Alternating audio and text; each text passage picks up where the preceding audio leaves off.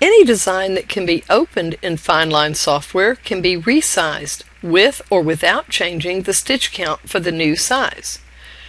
Select the design by clicking on it or select it from the sequence view. Note the stitch count at the top left of the workspace.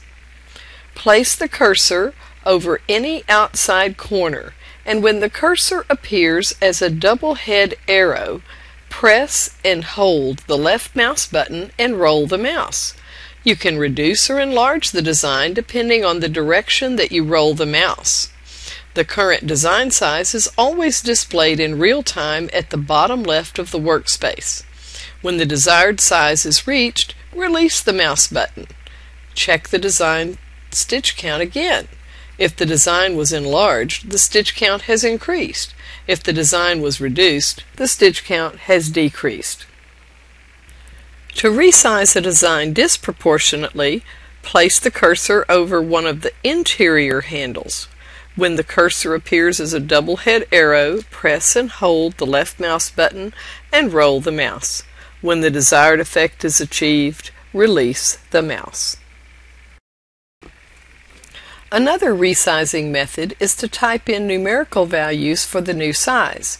Select the design and click on the transform icon in the properties box. Type the desired height or width and click apply.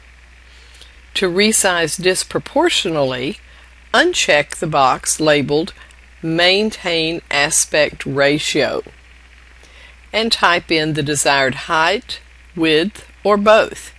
This is a handy feature when you'll use a series of designs that you want to appear similar in size, such as quilt squares.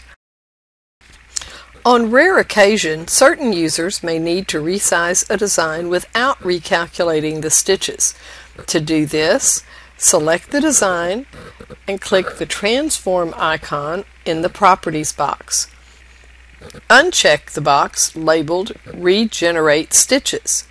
Type in a new size and press the Enter key. The design is resized to the new dimension and the stitch count remains unchanged. Remember that you normally want to regenerate stitches to be appropriate for the new size.